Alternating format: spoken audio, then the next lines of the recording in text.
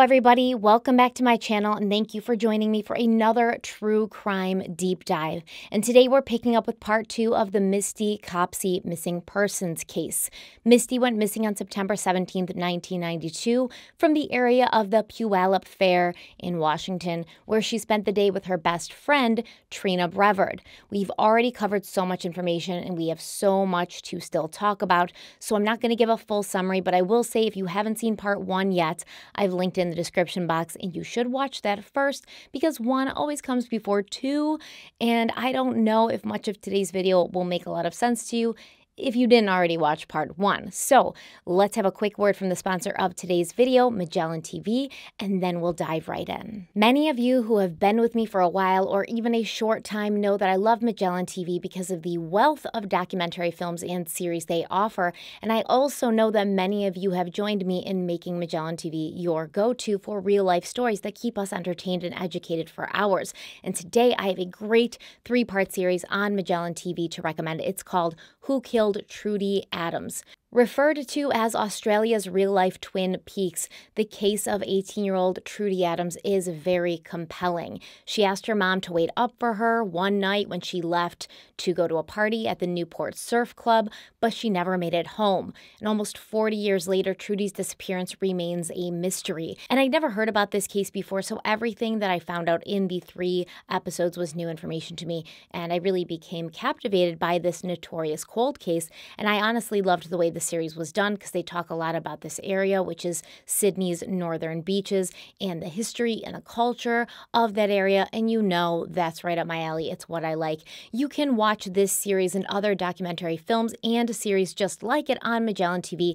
All you have to do is click the link in the description box and you can try Magellan TV out for one month completely free, no strings attached. You can cancel anytime you want. But I don't think you're going to want to once you see all that Magellan TV has to offer from true crime to history and science, travel, nature, mind, and body so much more. There's more than enough for everyone to enjoy. The best part is you'll never run out of new and interesting things to watch because Magellan TV adds 15 to 20 hours of new content every single week, and you can watch Magellan TV on multiple platforms from your cell phone, your tablet, your computer, your smart TV, Roku, Amazon Fire TV, Apple TV, Google Play, and iOS. Do not hesitate to take advantage of Magellan TV's special offer one month totally free to explore and enjoy all their amazing documentary series and films once again, all you have to do is click link in the description box, sign up, and start watching.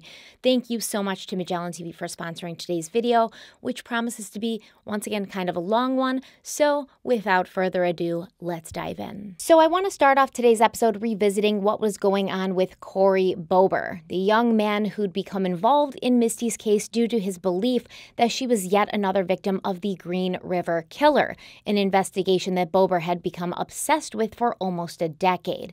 Remember that back in October of 1992, Corey Bober had been arrested for selling and possessing marijuana, and when he bailed out, he made it clear that he felt the police were targeting him because he'd gotten too close to a truth that they didn't want him to expose. And I personally don't disagree that the cops probably went out of their way to get dirt on Corey Bober, but I don't know if the reason they did that was because he was just too good of an armchair detective.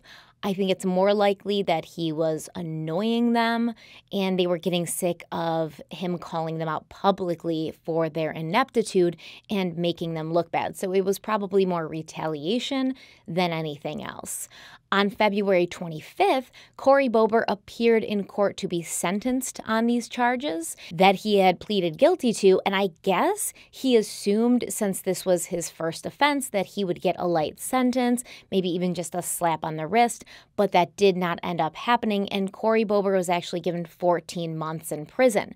And he was stunned by this because he was also positive that the police needed him and his information to solve the Green River killer case. And he thought maybe they were trying to warn him or scare him by arresting him, but they wouldn't put him away in a place where he would be unable to assist in the investigation. But obviously, he was wrong. They did not ever think he had anything legitimate to add to their investigation, and they really just wanted him like out of their way where he couldn't be calling them and bothering them every single day. From prison, Corey Bober called Diana Copsey, Misty's mother, and told her that the police would never find Misty's body without him. And unable to help himself, Corey continued to talk nonstop about his Green River Killer theories in prison. And obviously, there, his only available audience were the other prison inmates who also quickly tired of him and they began teasing him, messing with him. They would call him the Green River Killer as a cute nickname, I guess. Or maybe they thought that he was so hyper fixated on the Green River killer case that he somehow was involved. So while Corey Bober stewed behind bars, law enforcement on the outside began to actually work on Misty's case almost six months after she went missing. I would say better late than never, but I don't really think that applies to this situation, given that the police lost the crucial first 48 hours after Misty went missing, during which her odds of being found were far greater than they ever would be again. And saying they missed the first 48 hours is being kind. They missed, like, I don't know, the, the first six months, you know? They really didn't do anything for six months. Now, we did talk about how Sergeant Herm Carver and Detective Mike Madison, his partner, both Puyallup police officers, had Misty's older friend, 18 year old Rhueban Schmidt, take a polygraph, and the results came back inconclusive, which was not what Rhueban told Diana Copsey when he talked to her not long after. According to a letter that Diana wrote to Corey Bober while he was locked up, Rhueban had told her that he'd passed his polygraph with flying colors. The day after Rhueban's polygraph, Sergeant Carver and Detective Mike Madison began talking to some of Misty's friends, starting with 15 year old Dee Dee Mills. Now, Mills let them in on a secret she had just heard from Trina Brevard a few days before. Apparently, Trina had not actually walked home from the fair as she'd been telling everyone. She'd been picked up by her boyfriend, Mike Reiner who was 23, by the way. Have I mentioned that yet? I think a few times, but I'm going to keep saying it because Trina was 15 and Mike was 23. Let that sink in.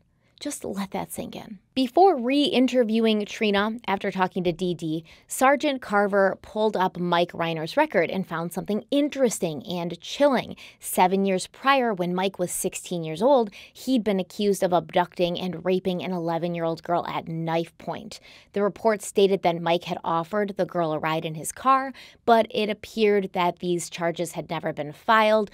The girl eventually backed and she didn't want to pursue anything, or whether it was her or her family, we can't quite be sure. Now, Sergeant Carver and Detective Madison spoke to Trina Brevard again on March 18th, and they told her that they wanted the truth, the whole truth, and nothing but the truth this time, even though the truth had never seemed to interest Sergeant Herm Carver much in the past. Trina owned up to the fact that she had been lying and she began filling in the blanks. She said she had called Mike Reiner for a ride and she'd gotten angry when they'd been disconnected somehow. Trina also said that she'd offered Misty to ride home with Mike as well, but Misty had said no.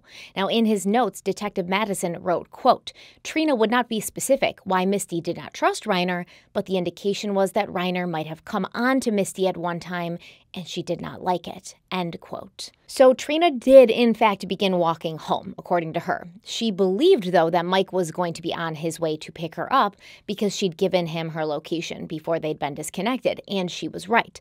Mike Reiner pulled up to Trina in his blue 1981 Ford Escort, and he ended up driving her home. Trina said that she had been with Mike that night for just about 10 to 15 minutes, and then he dropped her off at home and left. Mike had asked where Misty was during the drive, and Trina had informed him that Misty had decided to stay and take the bus home. Trina had actually given Misty her bus fare. Sergeant Carver and Detective Madison asked Trina if she thought that her boyfriend Mike could have dropped her off and then driven back to the fairgrounds to look for Misty. And Trina said she didn't know, but she did say she'd asked Mike that same question, and he had told her he hadn't. Now, just the fact that Trina felt she needed to ask Mike that question lets me know something. It lets me know that she suspected that might have happened and she felt he was capable of doing that. Like maybe he was interested in Misty enough to actually go and do that. Now, it was interesting because by March, the police were doing more investigative work on Misty's case, but they were also still calling her a runaway.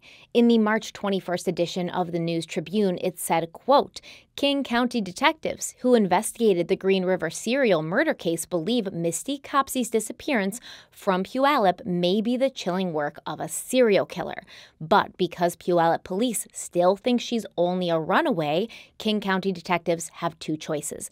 They can examine the case themselves or they can drop it. End quote. And in my opinion, there is some shade being thrown towards Puyallup Police by King County, and it's sprinkled throughout this article. It says that in the Green River cases, investigators had learned to quickly check out missing persons reports as possible foul play because if you wait a week or two weeks or a month, it's hard to go back and find witnesses and details, especially physical evidence. But they also said that usually the police, like the Puyallup police, only closely examine a missing persons case if there's compelling evidence of foul play.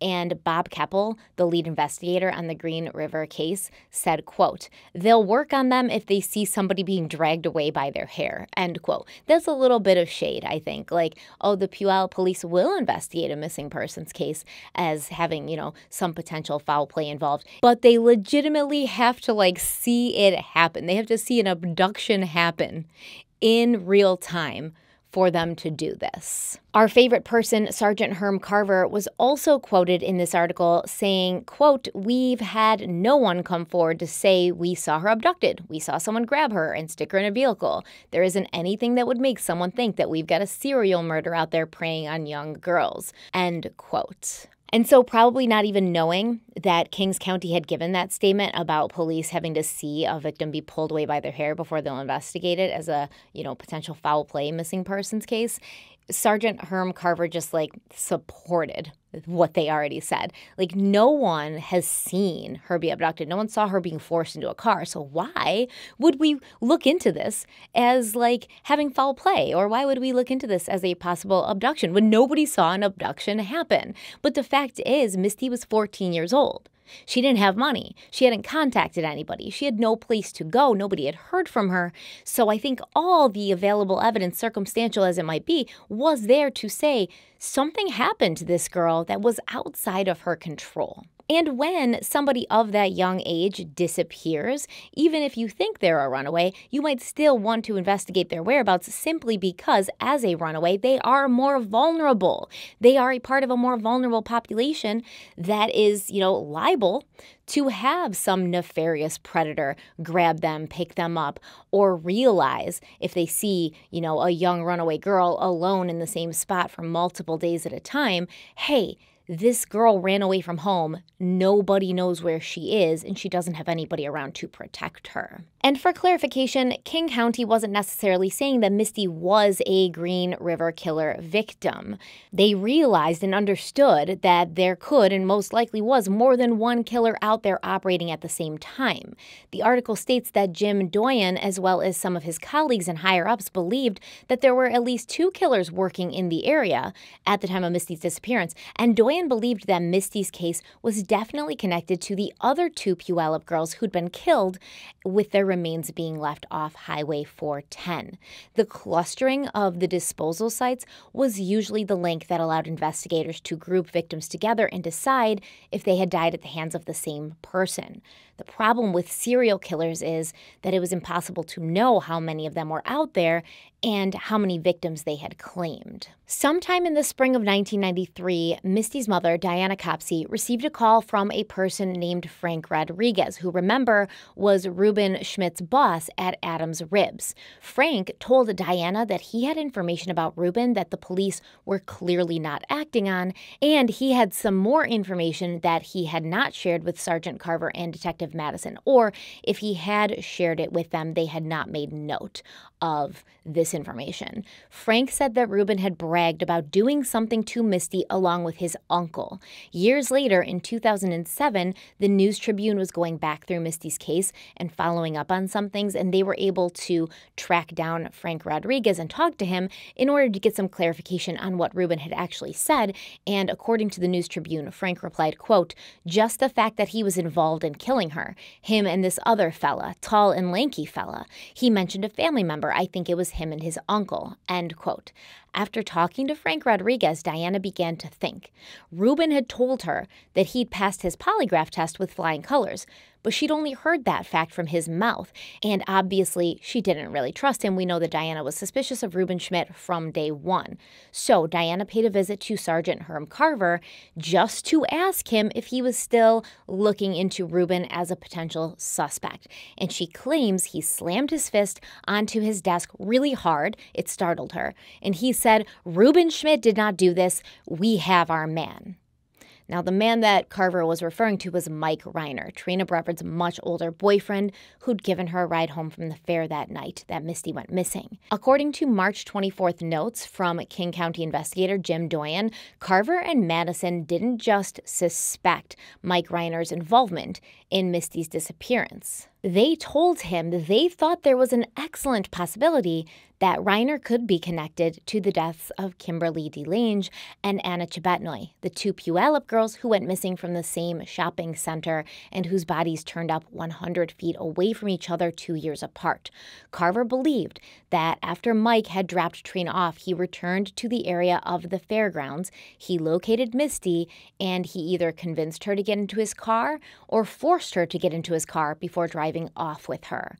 When they talked to Trina again a few days later, Carver and Madison told her that they knew she said Misty didn't like or trust Mike Reiner, but Misty was probably desperate for a ride, right? She had a lot riding on this, no pun intended.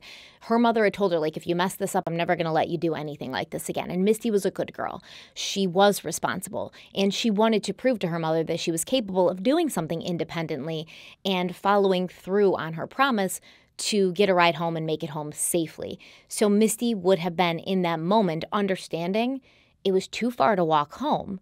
And if she saw somebody that she knew, even if she was a little distrustful of that person, she would maybe convince herself, like, oh, Mike's Trina's boyfriend. He's creepy to me and I get a little bad vibe from him. However, what, what's he going to do? There's nothing, what's the worst he could do? Make a pass at me. I say no. And then he gets mad and, you know, I end up making it home anyways. So what's the big deal? What's the worst that he could do? And she would use this logic to find it in herself to accept a ride from somebody that she didn't necessarily trust. So they asked Trina, Do you think it's possible that Misty may have taken a ride from Reiner since she'd missed the bus and all of her other options had fallen through. And Trina said, maybe. So on April 6, 1993, an undercover cop purchased Mike Reiner's blue Ford Escort for him for $200.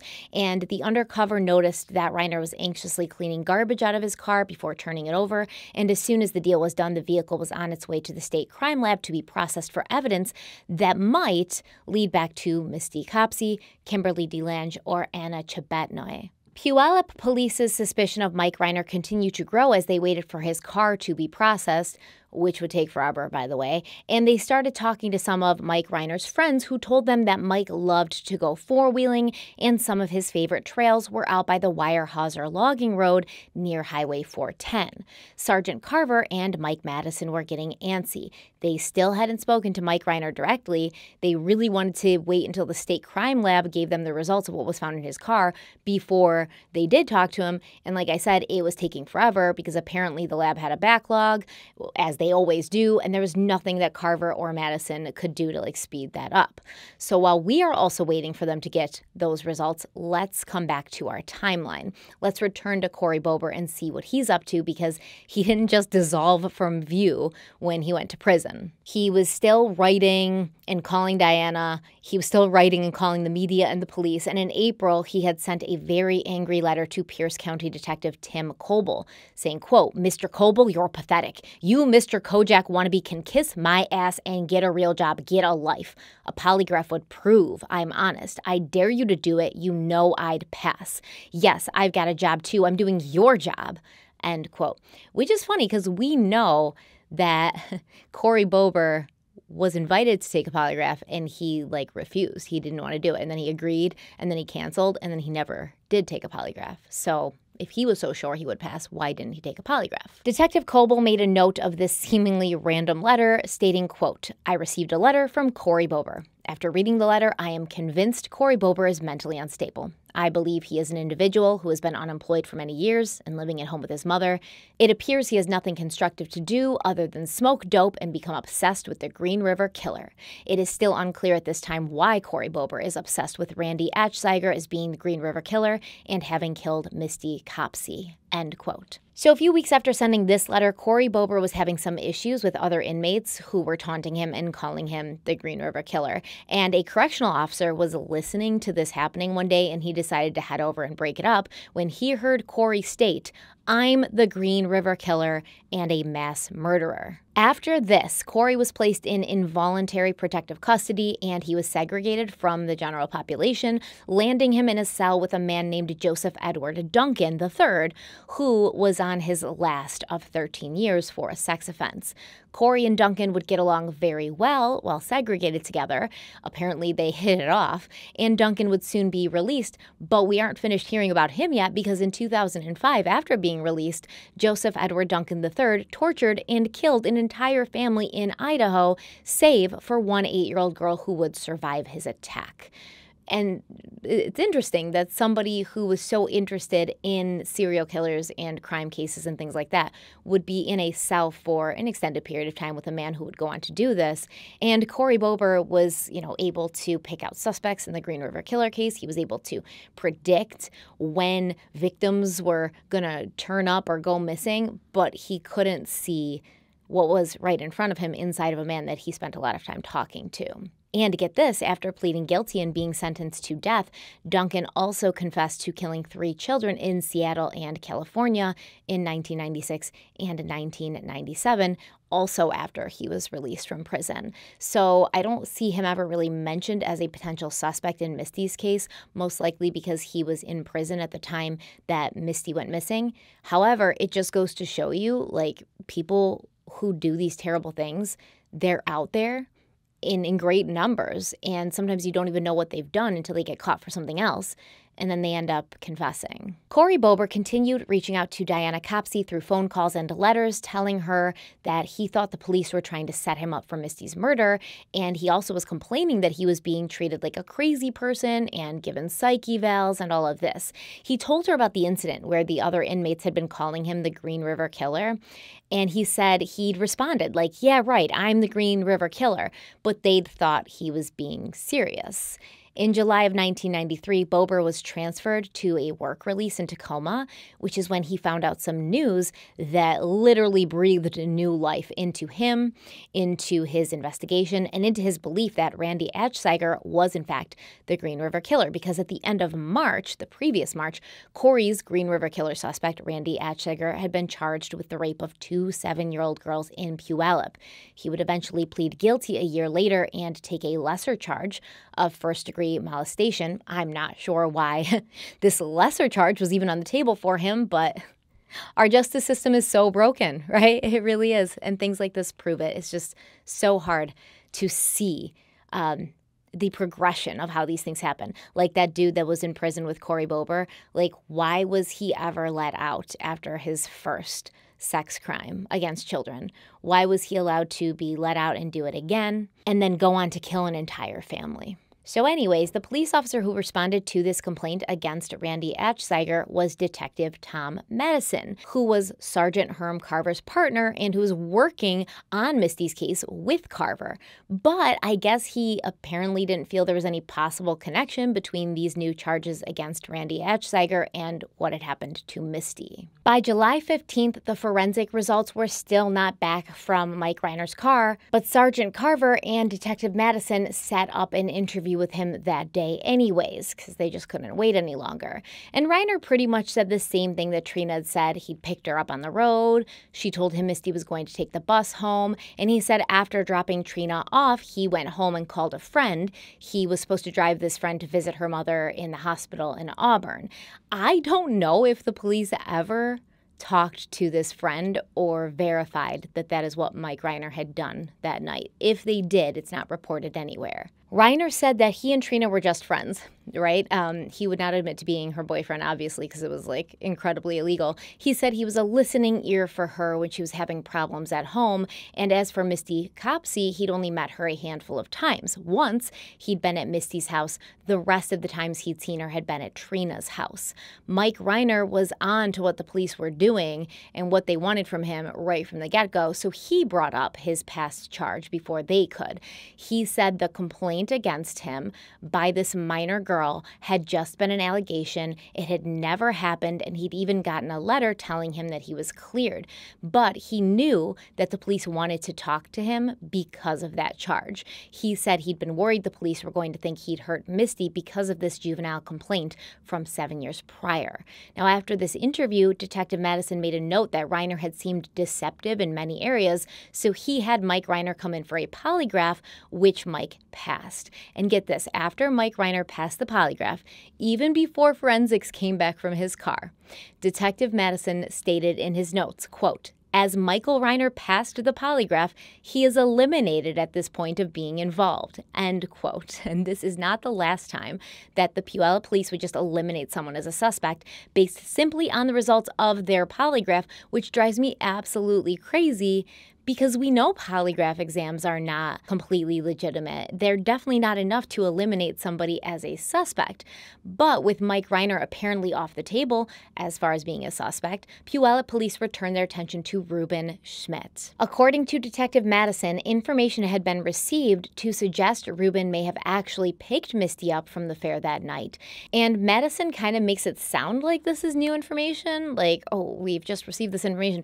But it wasn't because Diana Copsey had known about it since the day after Misty's disappearance. And I'm talking about the details she'd gotten from Rhueban's roommate at that time, James Tinsley, where Tinsley said that Rhueban and his uncle had in fact left the house to go and pick Misty up from the fair. So Tinsley was interviewed by the police on September 1st, a whole ass six months since Rhueban had taken that odd polygraph where he basically zoned out and put himself to sleep and they thought he was being deceptive and they thought he was purposely like shutting down so that he wouldn't set any alarm bells off during the polygraph exam.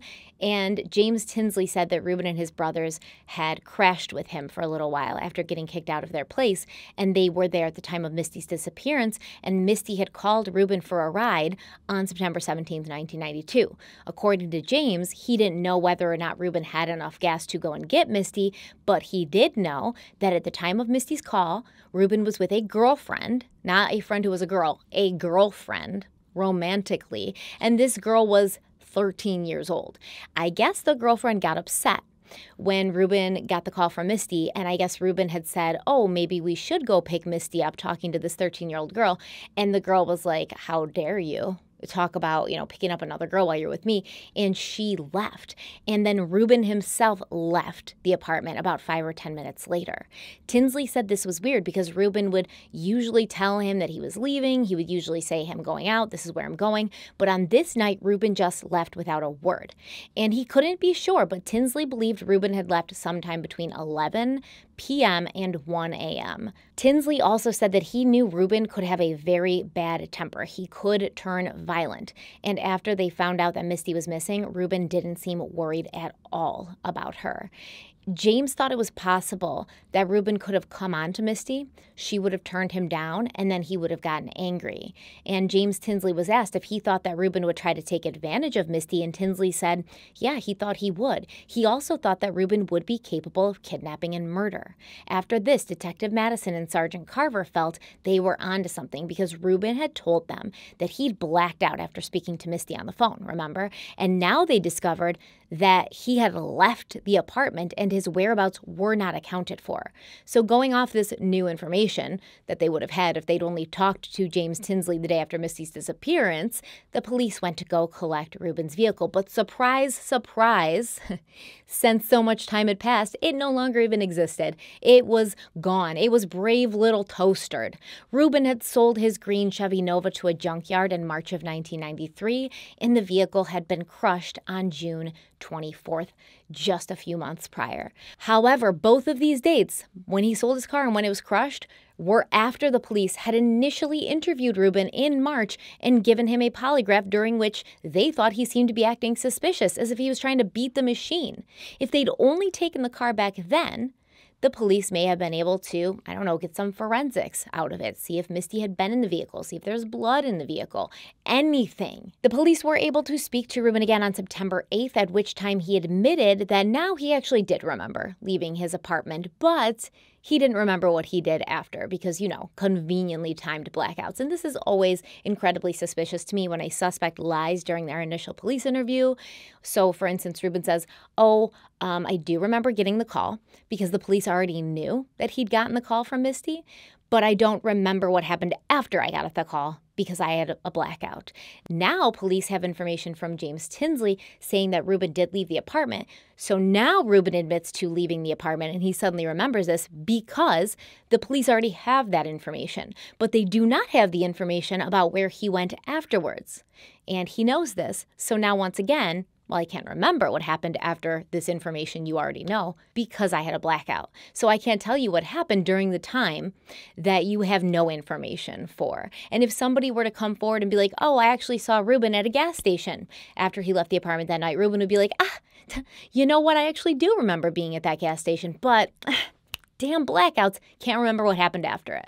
That is suspicious to me always. So, after admitting to having left the apartment on the night of Misty's disappearance, Rhueban was driven to his grandmother's 100 acre farm in Buckley because now Rhueban was also saying that he hadn't gone there on the morning of September 18th. He must have gone there on the evening of September 17th. That's what he's saying now. And this begs the question if what Rhueban had claimed was true, that he hadn't had enough gas to drive 16 miles to the fair to pick Misty up, that he didn't even have enough gas to drive an even shorter distance to Misty's house to get gas money. How did he have enough gas to drive from Spanaway to his grandmother's isolated 100 plus acre farm 60 miles away from where he lived? How? Where did he get the gas? Now, referring to the farm that belonged to Rhueban's grandmother, Detective Madison made a note saying, quote, This is approximately six plus miles from the river north of Buckley. Rhueban thought the clothes were found at the location by the bridge. In actuality, the alleged clothes were several miles further down Highway 410 past Mud Mountain Dam. This was interesting, as he had told his employer that Misty's body was actually buried six to six and a half miles away from the clothes, which would put Misty in the area of his grandmother's farm. End quote. And this seems like a really astute observation. An astute observation that you think would most definitely lead to a search of Grandma's farm. But no, it didn't, and the property was never investigated. As far as I can tell, definitely not at that point. Instead of doing actual police work and tracking down actual physical evidence, law enforcement decided to give Rhueban Schmidt another polygraph exam, which he passed this time, leading Detective Madison to make a note in the case file that said, quote, it appears that Rhueban Schmidt was not involved in the disappearance of Misty Copsey. He, however, has no alibi as to his movements during the evening of her disappearance, as well as no memory. He claimed that he had a blackout. He acknowledges that he left the residence of James Tinsley, but does not remember what he did. End quote. Make it make sense. Please make it make sense. He passed his polygraph, which is in no way a foolproof method of figuring out if someone is lying but he has no alibi, doesn't remember where he was the night of the murder, lied about leaving the apartment, lied about not having enough gas, and spent the evening allegedly frolicking around a remote 100 acre farm at night alone in the dark? Cleared. Cleared. Yeah, definitely. He, he seems to have nothing to do with this. Puyallup police never interviewed Rhueban Schmidt again. And as far as I can tell, they never spoke to his grandmother or anyone else who could verify his story of what he had done that night. But he's cleared. It had been a year since 14 year old Misty Copsey had vanished from Puyallup, and the fair came to town again, bringing in historically high attendance numbers. Another big event that month was that the forensic results of the examination of Mike Reiner's car finally were completed, and the forensic techs had compared evidence that was found on Misty's jeans against material found in Mike Reiner's car, and the results showed there was no match found. On October 26th, the Pierce County Herald wrote, quote, Other than the length of time Copsey has been missing, Carver said there remains little to support the theory that she was the victim of foul play, end quote. A year after Misty went missing, nobody heard from her. There's all this evidence that people could have potentially been involved in harming her, like Mike Reiner, like Rhueban Schmidt like any of the serial killers that were operating in that area taking young girls at that time. Puyallup police were still calling her a missing person and saying there was a little to support the theory that she was the victim of foul play. And Sergeant Carver, who apparently had nothing better to do than talk to the media because he certainly wasn't conducting an investigation, he also went on the evening magazine show claiming that the discovery of Misty's jeans had been unhelpful. Carver said, quote, You know, if I was in Diana's shoes, I probably would feel that we were not doing enough either. But, you know, I can get up in the morning and look myself in the mirror. I know what we've done. I've got a clean conscience. End quote he's a little delulu, no? Like, what are you talking about? You have a clean conscience and you know what you've done. How could you know what you've done in this case and still have a clean conscience? So, like, whatever subjective reality allows you to look at yourself in the mirror and not feel guilty about not doing enough is not my business. But I think objectively, anyone would look at what you had done in this investigation and say you probably shouldn't be able to look at yourself in the mirror. Carver also wrote in his notes that the day after the show aired, Diana Copsey had called him and thanked him for being so nice during the show. But he's a dick about the way he writes it, too, in my opinion. So he wrote in his notes, quote, She thanked me for being nice. And I say it like this because he used a question mark and an exclamation point after each sentence. So like she thanked me, question mark, explanation point, for being nice, question mark, explanation point, which to me translates as is she stupid? I wasn't being nice. I was basically saying like she's delusional if she thinks that we haven't done as much as we could because I can look at myself in the mirror every day and know that we did. And maybe he thought Diana was being sarcastic or had some nefarious scheme for thanking him for being nice because a few days later, Carver began interviewing people that Diana knew, such as an ex boyfriend and her old parole officer. Carver had both of Misty's parents Buck and Diana take polygraphs and they both passed, with Carver noting, quote, Diana is exonerated of any involvement in the disappearance of her daughter, Misty Copsey, end quote.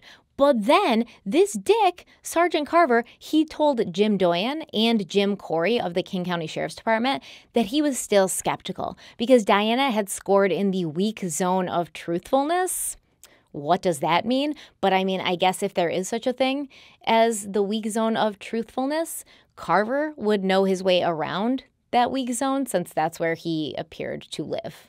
24 7, especially when he's looking at himself in the mirror with a clean conscience. So, Jim Corey from the King County Sheriff's Department, he wrote in his notes, quote, Carver believes that possibly Misty's mother was inconclusive on the results of the polygraph because she had something to do with placing the clothing up on Highway 410, which was identified as the clothing Misty was wearing at the time of her disappearance, end quote. Is this dude serious? Is this dude Herm Carver for real? Did Diana pass?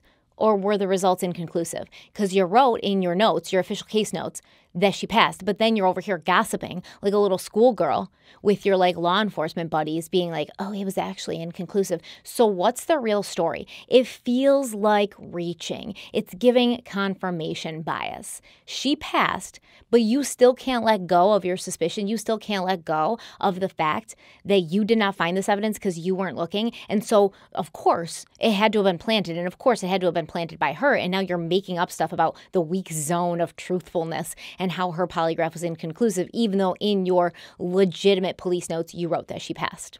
What's that about?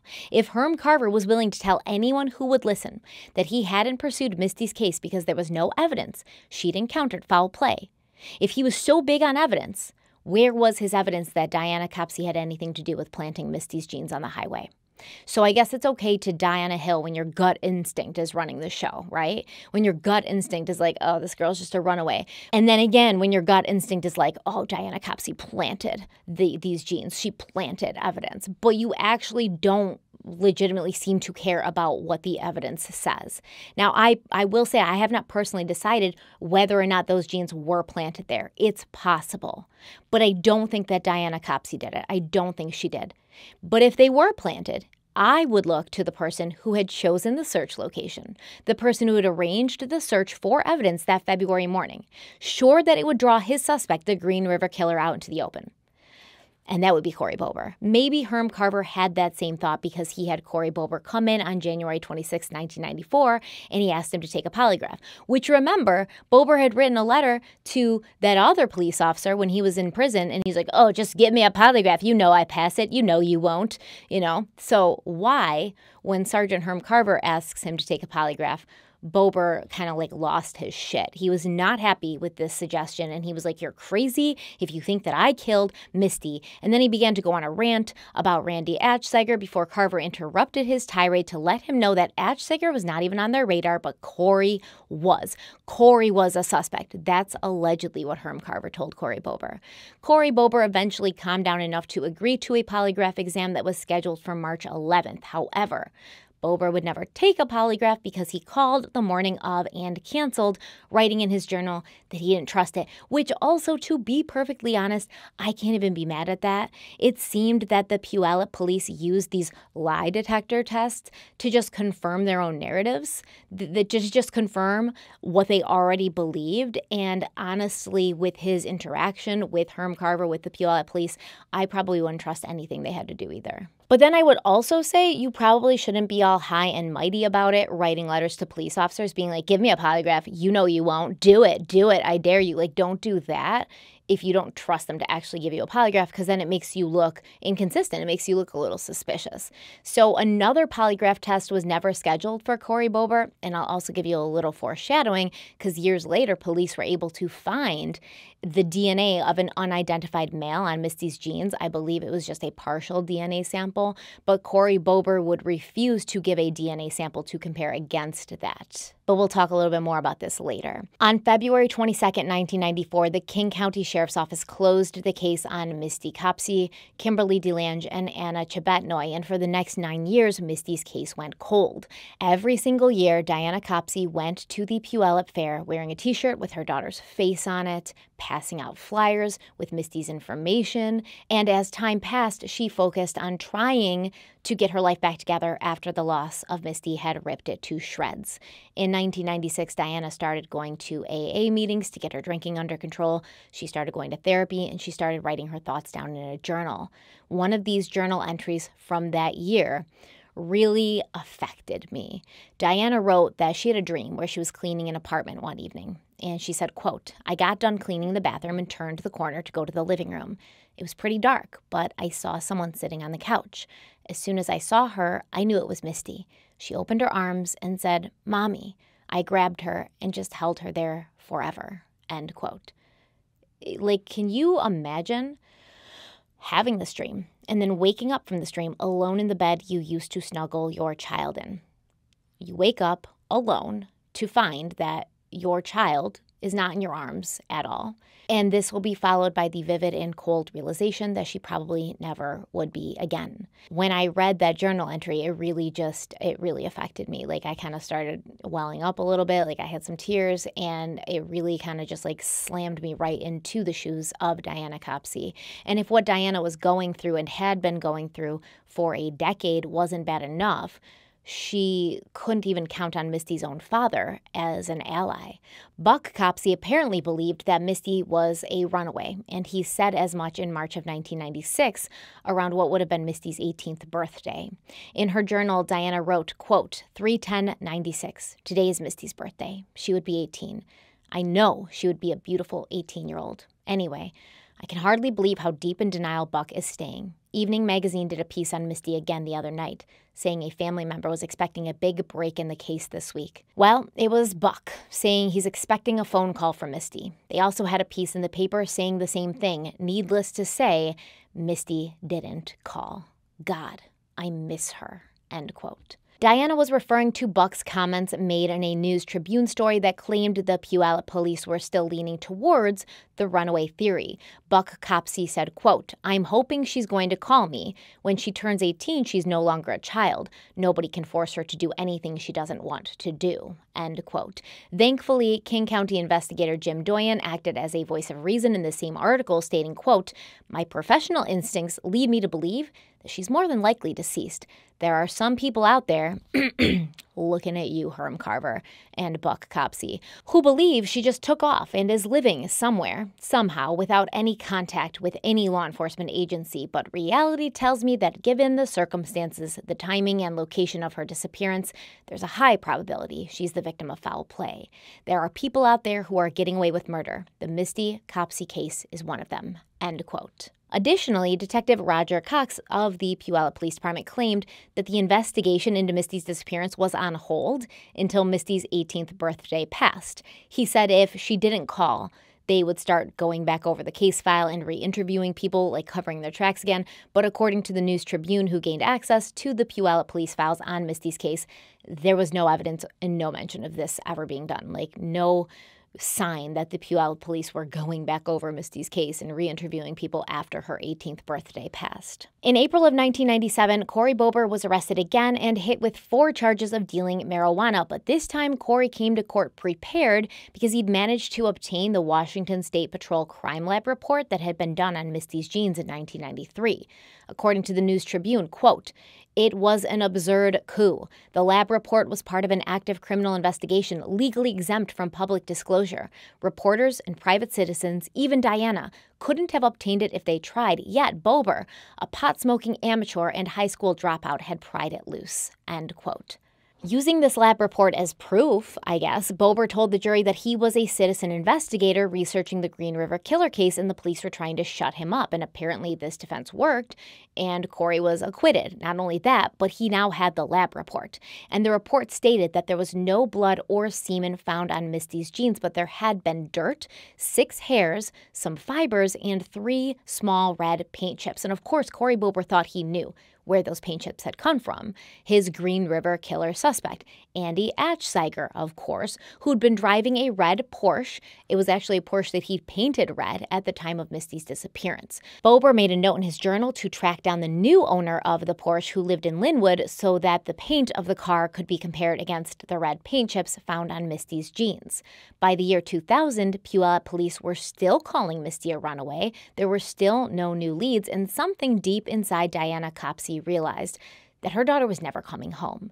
In May, Diana requested that the Pierce County medical examiner declare Misty legally dead so that she could hold a memorial service, say goodbye to her only child, and have a place to return to so that she could talk to Misty and mourn properly. The medical examiner, Dr. John Howard, initially refused. He said there was no body, there's no evidence that Misty's even dead. But Diana wouldn't budge. She said, I know she's dead. Stop playing games with me. Y'all are driving me crazy. Keep telling me she's going to pop up and come home anytime now. She's not. I want to mourn my child. So on May 19th, Misty Copsey's death certificate was issued, and since she had no money to put together a memorial service, Corey Bober actually stepped in. He took it off her hands. He convinced a Parkland church to host the service free of charge, and he managed to get local florists to donate flowers. After she was finally allowed to properly say goodbye to Misty, Diana was still not done fighting for answers and for justice. She told the media that the Puyallup Police Department had dropped the ball several times, and she put out a call to action. Science had progressed quite a bit since the discovery of Misty's jeans in 1993. Diana wanted the hairs that were found on the jeans to be analyzed. She wanted DNA tests done. She wanted answers, which is another, to me, piece of evidence that shows Diana did not plant those jeans there because if she had, she wouldn't be so gung ho on forensic evidence from those jeans being examined because she would know that that forensic evidence would not lead to the actual person who had taken Misty. But apparently, Buck Copsey, Misty's father, was personally offended by his ex wife's public declarations, and on May 24th, he allegedly went to the police department to complain and commiserate about it.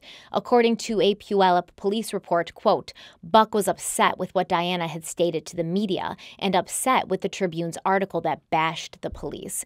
Buck still believes that Misty is alive and that she just got sick of it and went underground. He believes that Misty ran away because of the poor relationship that she had with her mother. Buck told me that he thinks a conversation conversation he had with Misty two or three weeks prior to her disappearance may have caused her to leave. At that time, Buck told Misty the truth about why he had left Diana years prior. He said that he told Misty that Diana was a friggin' alcoholic and other things. Buck feels now that he was too honest with his daughter and may have caused her to stage her disappearance. End quote. This is so stupid. This is so stupid. no one else in Misty's life said that she had a strained relationship with her mother not her friends, not, you know, Diana Copsey herself. Diana had just bought her a new stereo the day before she disappeared. Misty was so grateful, so happy about it.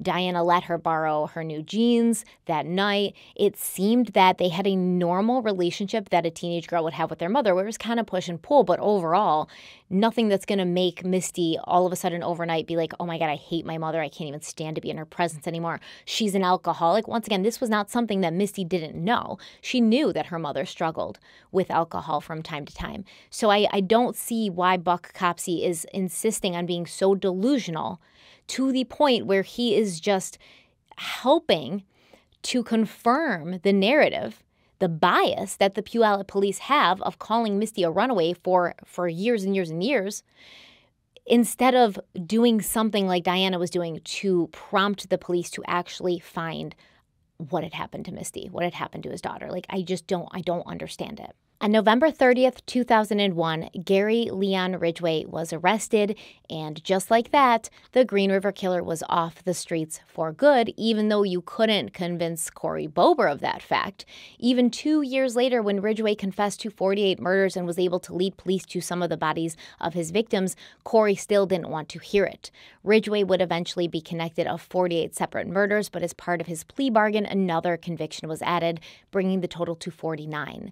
In a December December 2003 interview with detectives, Ridgway did claim that he believed he'd murdered as many as 71 women, but he had lost track over time and didn't remember where he'd left all of their bodies. In 2003, Ridgway started leading investigators to the bodies of his victims who were still missing, and this led to the discovery of four new victims. Now, during that summer, King County detectives drove Ridgway up and down Highway 410 so that he could tell them if he had left any of his victims in that area and they did this more than once. During these drives, the detectives repeatedly drove past the gates, the entrance to Waco Road, just east of milepost 30, where Misty's jeans had been located in 1993, and where the bodies of Kimberly DeLange and Anna Chibetnoy had been found. Gary Ridgway never identified the area, even though the police did slow down and pointed out to him. On June 21, 2003, Detective Tom Jensen asked Ridgway if he'd ever gone through the Weyerhaeuser gates and onto the Weyerhaeuser property, and Ridgway responded, no, the gates were always locked up. Jensen responded, yeah, they're locked now, but were they always? And Ridgway responded, quote, they were locked up then too, because I was going to go over there, you know, a place to hide them, end quote. A DNA analysis would later rule Ridgway out as the killer of Kimberly DeLange and Anna Chibetnoy, but because Ridgway worked as a car painter, the red paint chips found on Misty's jeans were still of interest to law enforcement. In the fall of 2003, shortly before Ridgway's conviction, conviction, King County hired a private lab in Illinois called Microtrace to run an analysis on spray paint spheres found on some of the Green River Killer's victims' clothing. Microtrace analyzed paint gathered from Ridgway's home, vehicle, and workplace to create a reference library, and then they compared it to the paint fragments collected in or around the dump sites where victims were found. When the results came back no match, the lab decided to vacuum dust from Ridgway's clothing as well as the clothing of his victims, and they then analyzed these tiny particles under a microscope equipped with an infrared device that was used to detect colors and compositions of substances. This process found that paint spheres on Ridgway's clothing were also found on the clothing of five of his victims. The red paint chips found on Misty's clothing were included in these tests, but they were found to not be a match to Gary Ridgway. The debris from DeLange and Chibetnoy were also compared to the debris from Misty's jeans, and there was nothing found that connected them. So nothing that was found on Misty's jeans connected her to anything that was found on the bodies or the crime scenes of Anna Chibetnoy and Kimberly DeLange.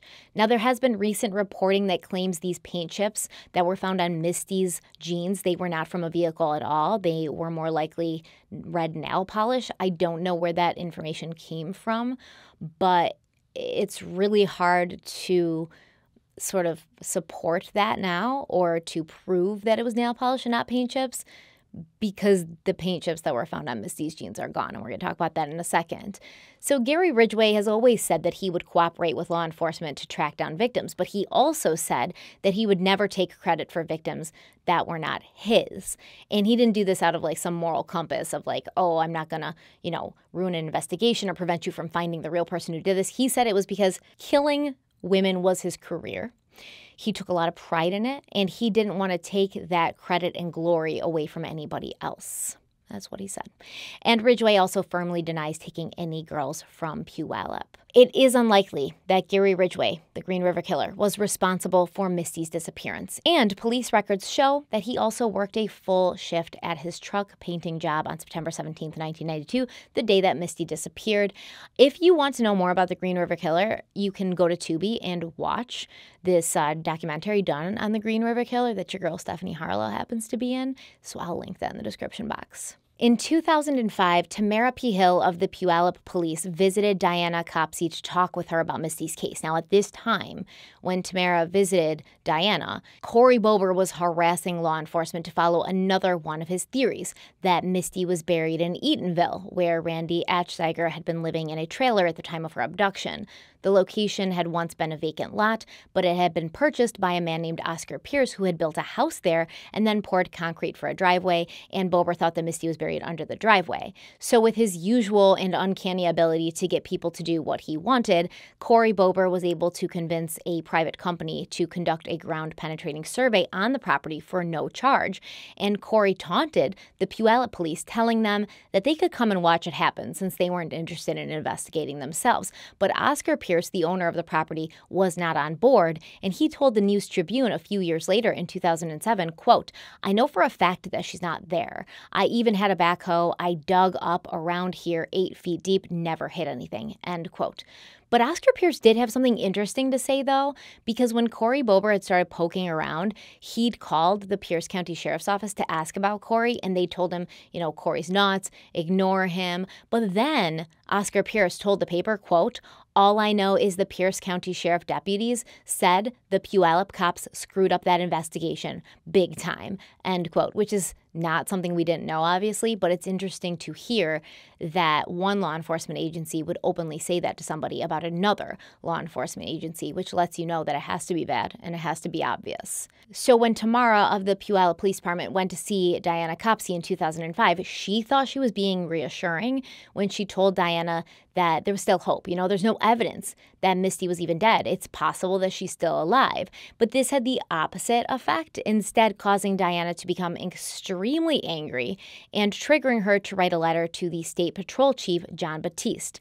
Quote, Puyallup is still operating under the premise that Misty is alive and well. That feels like some kind of inhumane torture when I hear that. Please override the Puyallup Police Department and take this case away from them. I am asking you to now enact your jurisdictional authority over the Puyallup Police and seize this investigation in its entirety. End quote. But of course, the State Patrol was like, nope, request denied. This case is a mess. We don't even know where we would start. Let the Puyallup Police Department clean up its own mess. They didn't actually say all that other stuff. They just said no, but I'm assuming that that's what they were probably thinking. Next, Corey Bober was in Diana's ear about those red paint chips on Misty's jeans. Had he not told her that Randy Atchziger drove a red Porsche at the time of Misty's disappearance? Didn't it make sense for the police to compare the paint of that car to the paint chips found on Misty's clothing? At least it would eliminate something. At least it would tell them something. At least they'd be doing something. So Diana then started calling the police and suggesting that they do that. And in September of 2005, Puyallup police officer Lieutenant Dave McDonald collected several samples from the car, including red paint chips from the front and rear trunk area, as well as carpet samples and some hairs found inside the car. Now, according to police records, the paint samples from the Porsche were given to King County. And King County already had the paint chips from Misty's jeans. And then King County sent the paint samples from the red Porsche and the paint chips from Misty's jeans to the state crime lab in Tacoma and they wanted those two things to be compared. Now, of course, the crime lab had a year long backlog, as they always do, so Corey Bober and everyone else would have to wait for the results. But when the report was finished on January 16th, 2007, it stated, quote, no fibers or paint fragments that could have originated from the Porsche 914 were recovered from the jeans, underpants, or socks of Misty Copsey, end quote. But there was a problem, right? Because the tech who had written the report making these claims seemed to maybe not have been completely upfront. Terry McAdam had already tested the hair and debris from the Porsche against the evidence on Misty's jeans, but when he went to run the paint chips from Misty's jeans and compare it to the paint chips against the Porsche, he found that the bag that had once held the paint chips from Misty's jeans was completely empty. He said there was like a little bit of plastic in there, and that was all no paint chips. The last known location of the paint chips had been the Microtrace lab. They'd been sent there in 2003 for a Green River killer comparison. Microtrace president Skip Palenik told the News Tribune that he was confident the paint chips had been returned to King County, but nobody really knows where they were. And I guess there was a lab fire at Microtrace in 2008, so if they were there, they probably aren't there anymore. But this once again brings up the question why did Terry McAdam write in his 2007 report that no fibers or paint fragments could tie Misty Copsey to Randy Atchseiger's red Porsche? Why did he say that when he wouldn't be able to possibly know, with the paint samples at least? But it appeared that the Puyallup police were working on a lead and that lead was Rhueban Schmidt, who Lieutenant Dave McDonald made a note of in March of 2006, stating, quote, I think it's worth taking another shot at Schmidt, and we're planning on it. He's been clean since 1993, end quote which, as it turns out, once again, was not exactly true. According to the News Tribune, they found files from the Pierce County Sheriff's Office that stated Rhueban had been accused of rape in early 1996.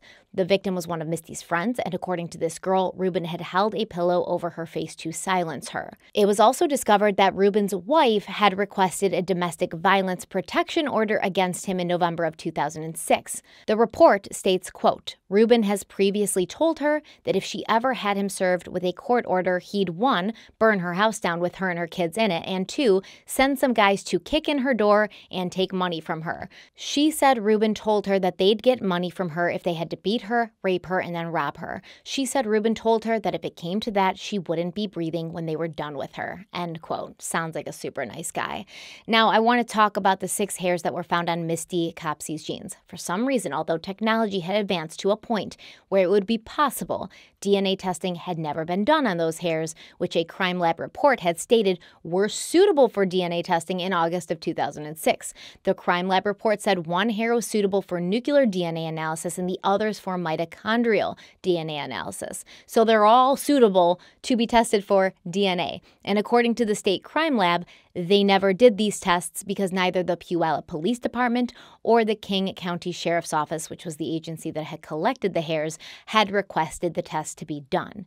In 2009, the Puyallup Police Department retrieved this evidence from King County and sent the hairs to the state crime lab for analysis. A News Tribune article from June 4, 2009, that was titled Puyallup Requests the DNA Test Already, talks about how the Puyallup police had known for two years that the six hairs found were suitable for DNA testing. So, why were they waiting to have them tested? Valid question. The Puyallup Police Department spokesperson claimed that they were worried that the DNA test could lead nowhere. It could show the hairs had come from Misty or from her mother Diana, and that wouldn't get them any closer to finding out what had happened to Misty. That is why it hasn't been a priority, which once again makes absolutely no sense because you've got no physical evidence in this case. And yes, the hair on the jeans could be Misty's or could be Diana's, but they could be somebody else's, and then you would have a lead to go on. You can't just sit there with the case cold being like, we have no new leads to go on when you're not doing DNA testing on potential physical evidence. It makes absolutely no sense. The spokesperson also made a comment, which I think is more telling about why they have not done this DNA testing by now. And he said the discovery of the jeans was still suspicious. They were still concerned that the jeans had been planted in an effort to force a deeper investigation. Quote, it's unfortunate in the manner that the find was found because it involved Corey Bober. It's unfortunate even if it is a legitimate dumping, end quote. And he's saying it's unfortunate because like there could have been, you know, tainting done to the evidence. Like, did Corey touch them? He always said he didn't touch them, but did anybody touch them? We don't know because the police didn't find them. But still, if you have nothing else to go on, why wouldn't you test the hairs as soon as you found out they were viable for DNA testing in 2006? Well, the hairs were finally tested and they did not match Misty or her mother, Diana, or anyone else in the FBI's database as of now. But the DNA profile of a male was found on Misty's jeans. It's unclear of whether that DNA profile was found from like touch DNA or whether the DNA profile was pulled from the hair. I know this seems like such a simple fact that should be easy to find, but I really couldn't ever nail it down. Like nobody ever said it very distinctly enough for me to know for sure. So there is hope that one day there could be a hit in the system, that one day maybe somebody gets arrested or something happens and they have a match to the DNA. Now, it looks like police did speak to Rhueban again after the News Tribune three part series went out and sort of lit a fire underneath law enforcement to retrace the steps of those who came before them, the negligent, ignorant, lazy cops like Sergeant Herm Carver who had come before them. And it has been reported that Rhueban cooperated and agreed to give a blood sample, although investigators have not disclosed disclosed the details of what Rhueban Schmidt said or what they found, such as whether or not his blood matched the DNA profile on Misty's jeans. An old lead that looked as if it had never been pursued also popped up after the investigation was given new eyes, and this was a tip that had come in on March 22, 1993, to the King County Sheriff's Office. A man had called in and claimed that he'd seen Misty get into a car with another man the night of the Puyallup Fair. And this person who wanted to remain anonymous claimed he had just returned from Alaska after he'd been out of town for several months, and the news coverage of Misty's case had caused him to remember what he'd seen the previous September. He said, First of all, he said he knew the person in the car, and the car was a yellow Chrysler Cordoba, and Misty had leaned in to talk to the driver, and then she got a startled look on her face. She kind of glanced around, and then she got into the car. The tipster said that the person in the car was a convicted sex offender who worked at a local auto detailing shop that this anonymous man was a customer of. And it looks as if King County investigators did research the background of this person, and they passed the information on to the Puyallup Police Department but no one from either agency ever interviewed that sex offender, not until the case was reopened.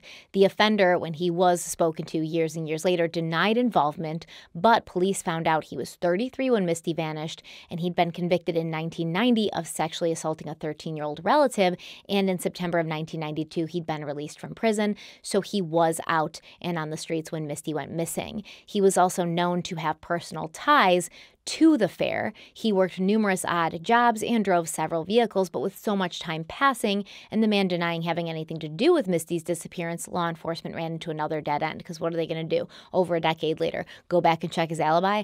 Talk to the people who knew him or saw him that night? He could easily say, like, no, I didn't kill any girl, but I can't tell you what I was doing on September 17th, 1992. That was like over 10 years ago. How could I tell you that? And they literally can't do anything about it. They can't be like, yes, you do remember, tell us so we can check your alibi.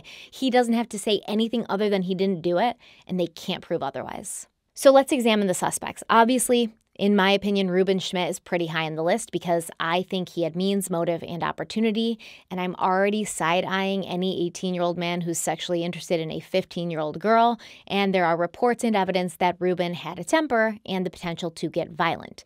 The changing stories, the alleged inconvenient blackouts, the 100 acre farm where his grandmother lived that he happened to visit the night of Misty's disappearance, even though he didn't have enough gas to pick Misty up from the fair, the fact that he said he didn't leave the house to pick Misty up that night night, but it turns out that he did leave the house, and the constant mention of Rhueban and his uncle. James Tinsley said Rhueban and his uncle went to pick Misty up. Rhueban's boss, Frank Rodriguez, claims Rhueban bragged about knowing where Misty was buried, doing something to Misty with his uncle. Now, what do we know about this uncle? According to the News Tribune, this man's name, picture, vehicle description, and other information does appear in the Puyallup police records of Misty's investigation but it does not appear that this man was ever interviewed. The police records mention Rhueban's uncle five times between 1993 and 2006 as someone with possible information, but they didn't talk to him or look into his movements on certain key dates. The News Tribune did look into the man and found that he lived a few blocks away from Rhueban, and his description and the description of the vehicle he was driving at the time correspond with the man that Diana saw Rhueban with when she was confronting him at the grocery store and he like jumped into an orange car and drove away. Also, the description of this man corresponds with Frank Rodriguez's description of a man that was like tall and lanky. So we don't know if it was really Rhueban's uncle or somebody he he just referred to as his uncle. We don't know who this person is. The News Tribune does know, but they've decided to not release his name for obvious reasons.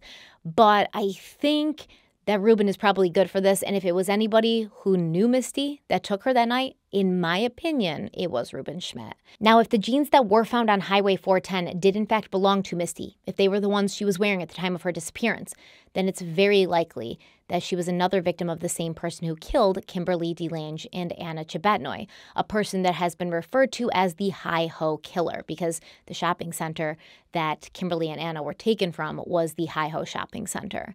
Since there's basically no information about Kimberly and Anna's cases out there, there's a little hope of figuring out who their murderer was and if that same person is responsible for taking Misty. But there is one suspect that I do lean towards very heavily, and that's a man named Robert Leslie Hickey. On Sunday, January 10th, 1993, less than four months after Misty went missing, Hickey grabbed a 15 year old girl off the road about five blocks from the Puyallup Fairgrounds. She was walking home on Meridian, which remember, is where Misty had been seen walking by some eyewitnesses. This is the main road in Puyallup, and Hickey pulled up to her in his red Camaro.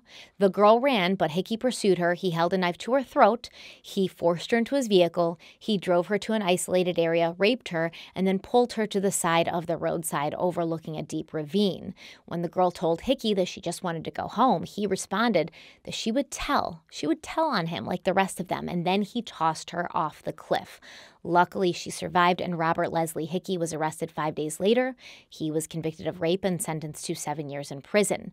After he was released, Hickey struck again, this time attempting to snatch a 24 year old woman off the road in Lakewood. She ran, he pursued her, he pushed her down a 15 foot embankment, at which point he ripped her shirt. He was trying to rape her. He told her to shut up or he would kill her. But then Hickey noticed that the woman had dialed 911 on her phone and she'd already hit send. And so he kind of figured out the police the way, so he ran, but he was tracked down and arrested again. In 1993, after his first known crime, Hickey's name appears in the case notes of Misty Copsey's investigation, but no one from law enforcement spoke to him at that time. Even though I would say the MO, especially of his first victim, matched up pretty closely to what happened to Misty. In 2010, Puyallup police did interview him in prison, but he denied having anything to do with Misty Copsey, which of course he would, because he was only in prison for like an attempted assault, and he wasn't in there for life. He wasn't, you know, on death row, so why would he admit to a crime that would give him more time? I mean, I think it's almost a moot point at this at this juncture to even bother asking him. And lastly, Cory Bober has always been a wild card in this case, a big question mark. He did refuse to take a polygraph, he did refuse to give a DNA sample for comparison, but he was very paranoid and he didn't trust the police. So that kind of behavior is, I guess, sort of to be expected. Now, did Cory Bober actually predict that Misty would be taken? Did he actually lead a search party to the discovery of the only piece of physical evidence in her case. Was he responsible for planting the jeans? And does that mean everyone has been looking in the wrong place for decades?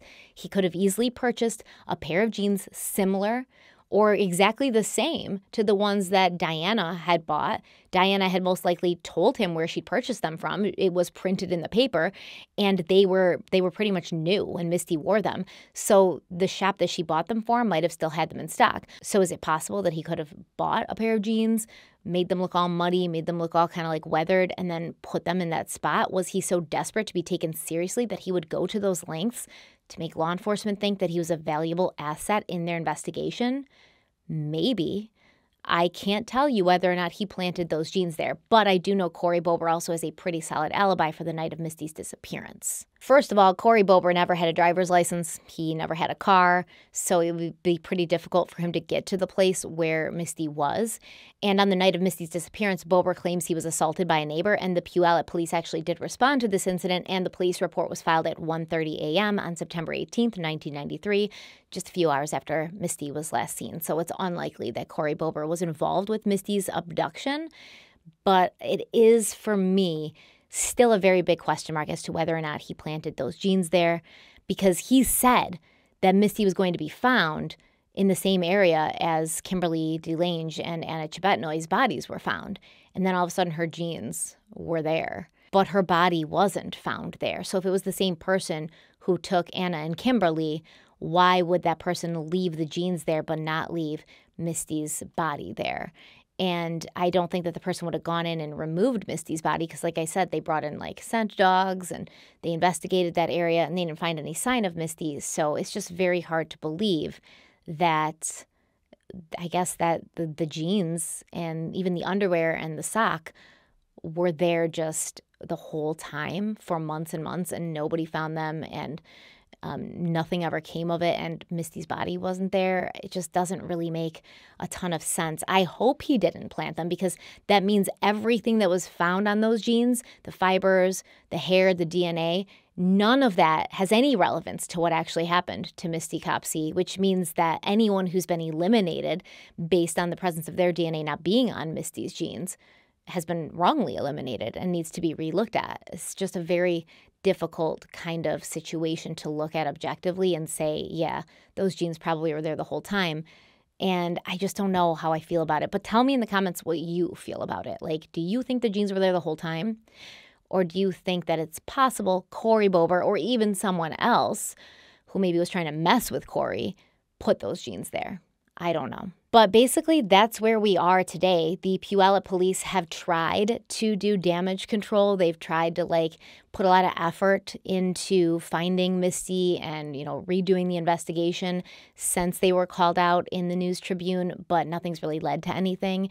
Uh, there was a point that they put Misty's face on a bus and that drove around. There was a point they did this, like, honestly, really cool social media campaign where they made a Twitter account for Misty. I know it's called X now, but I'm not calling it that. That's so stupid. It's the dumbest thing I've ever heard of in my life. So they made a Twitter account for Misty and then they started tweeting as if it was Misty to like bring attention to her case. So she'd say things like, you know, today's my birthday, or this is a picture of me from when I used to hang out on my grandparents' farm, and where am I? If you have any information about where I am, like please call the police, etc., etc. So they did that for a little while. That didn't work. There was a time that they started asking anybody who'd been at the Fair on September 17th, 1992, to send them any photographs they took that day. And, you know, people did have some photographs and they did give them to the police. As far as I know, nothing has come from it. And this case is completely cold. But once again, I don't believe that it would be had the Puyallup police done their job from the first day instead of just saying that a very vulnerable little 14 year old girl who had no reason to run away, who had no money, who did not contact friends or family for months and years after her disappearance was just a runaway. And that was their validation or that was their justification for not trying to find her and protect her and keep her safe. So that's where we are. What do you think about all this? Let me know in the comment section. You know, I love to hear from you guys. But before we go, we have Stephanie's Small Business Showcase Woohoo! And today's small business showcase comes to us from Q the Vacation. So Eric wrote me and said, My wife Brittany regularly watches your YouTube channel, and she read a post of yours that she forwarded to me regarding showcasing small businesses. I think it's a great idea personally, and I'm always about promoting others myself. My wife and I together own a travel agency that we started in March of this year called Q the Vacation. Q the Vacation is a veteran owned, full service travel agency and is dedicated to providing exceptional vacation booking and planning services. Our expertise is Disney, cruises, all inclusive resorts, and romantic getaways, and this allows us to cater to our clients clients' specific needs and preferences. From airline tickets and car rentals to theme park tickets and hotel accommodations, we handle all the details to ensure our clients have a hassle free and unforgettable vacation experience. We pride ourselves on providing personalized service and expert advice to help our clients make the most of their vacation time with their loved ones. And I love this because I will say, as somebody who's been to Disney and Universal Studios and stuff a couple of times and who likes to go to all inclusive resorts, it is so much better and such a more, you know, streamlined process, so much easier to use a travel agency to help you with those things because they have so much experience with these resorts and they they know exactly where to go to, who to talk to, and, and it basically just takes everything off of you. So when you're busy and you're trying to plan a vacation to get away for a little bit, the last thing that you can do or want to do is take time away from your already busy schedule to plan this vacation that is supposed to help you relax because when you're planning a vacation, you realize it does not help you relax. It's very stressful and you're always worried that you miss something.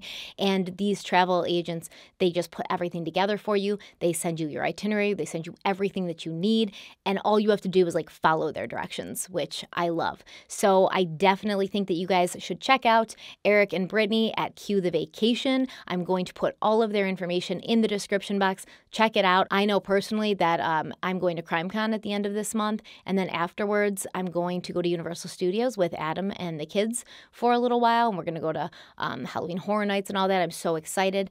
And I planned that myself, and I didn't have time for it and I'm definitely stressed out because I know I probably forgot things and it's going to be st- stressful and kind of already on the the back of like going to CrimeCon it's going to I'm going to have forgotten something that's going to be like important. So I'm I'm already stressed about that. I wish that I had gotten this email before I planned this trip because then I would have just called Eric and Brittany and been like, "Hey guys, help us out here. Hook a girl up here." So check them out. Thank you so much for being here. Stay kind, stay beautiful, stay safe and I'll see you very, very soon. Bye.